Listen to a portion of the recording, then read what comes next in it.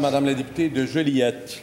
Monsieur le Président, il y a beaucoup de mystères en lien avec l'engagement brisé du ministre de la Famille de livrer 13 500 places en deux ans en CPE. Premièrement, je vais vous en nommer euh, quelques-uns.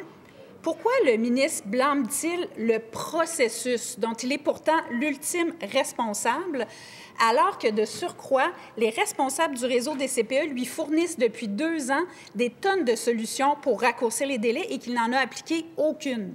Deuxième mystère, pourquoi le ministre euh, dit-il que la pandémie est responsable de l'absence de création des places en CPE, alors que de manière surprenante, aucun impact de la pandémie pour la création de maternelles 4 ans?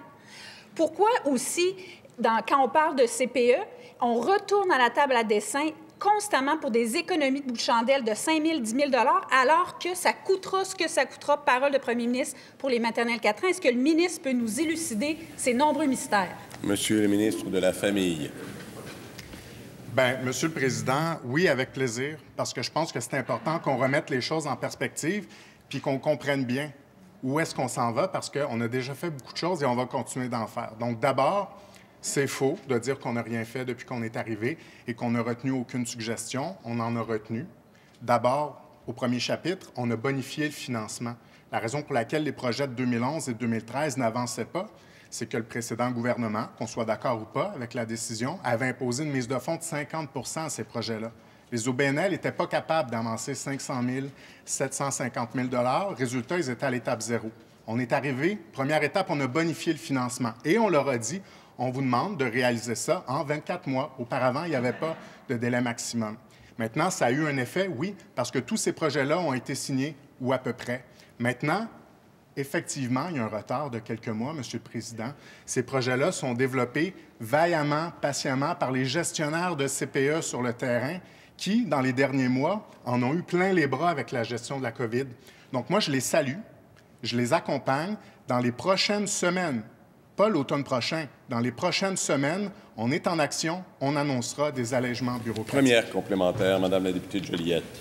Le fait est, Monsieur le Président, que ça fait deux ans que les responsables du réseau suggèrent plein de choses. Par exemple, d'avoir des plans types d'architecture plutôt que de réinventer la roue à chaque fois. Avoir une équipe dédiée au ministère de la Famille pour les accompagner. Avoir des mesures souples pour les petits milieux, notamment en région, pour plus de flexibilité. Alors, j'aimerais comprendre pourquoi le ministre s'entête à ne pas donner suite à ces propositions-là et pendant ce temps-là à blâmer tout ce qui bouge, sauf de prendre la responsabilité qui lui incombe. Monsieur le ministre de la Famille. C'est intéressant, Monsieur le Président, parce que pas plus tard que mardi dernier, la députée de Joliette nous disait Mais ça fonctionnait bien avant. Gardons les choses comme elles sont. Ça fonctionnait bien. Inspirez-vous de ce qu'on faisait dans le passé. Et là, aujourd'hui, elle nous amène des pistes de solutions intéressante, Monsieur le Président, et c'est ça qu'on a l'intention de changer. Certains de ces changements-là prennent plus de temps parce qu'ils doivent passer par un projet de loi. Ce sera l'automne prochain. Mais on n'attendra pas l'automne prochain pour poser des gestes. Depuis plusieurs mois déjà, on travaille sur des allègements bureaucratiques. Et oui, on va donner un grand coup de pied dans la paperasse pour permettre non seulement aux professionnels du ministère qui se lèvent à chaque matin pour nous aider à concrétiser ces places-là, mais aider aussi les directions sur le terrain pour que les parents puissent avoir une place pour leur enfant. Deuxième complémentaire, Mme la députée Joliette. Monsieur le Président, c'est assez simple. Quand nous, on était là, on n'en avait pas besoin de ces solutions-là. Ça marchait 10 000 places par année. On n'était pas à 2 000 places en deux ans et demi.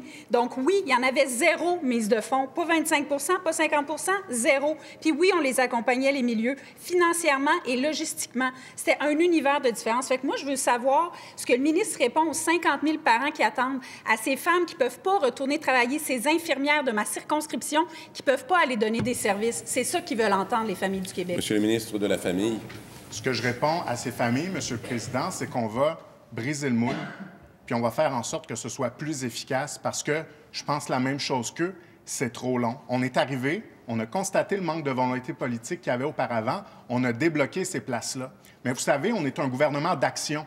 Puis on trouve que même avec ce qu'on a annoncé, ça va pas encore assez vite. Puis on est assez un pour dire au beau milieu du processus, vous savez quoi? On vous le dit clairement, on veut que ça aille encore plus vite que ça. Et ce qu'on va faire, c'est couper encore plus dans la bureaucratie pour appuyer le ministère de la Famille et appuyer le milieu, les directeurs, les directrices qui développent parce qu'on a tous le même objectif. Et j'invite la députée de Joliette à travailler avec nous là-dessus offrir une place aux tout petits pour que leurs parents puissent aller travailler.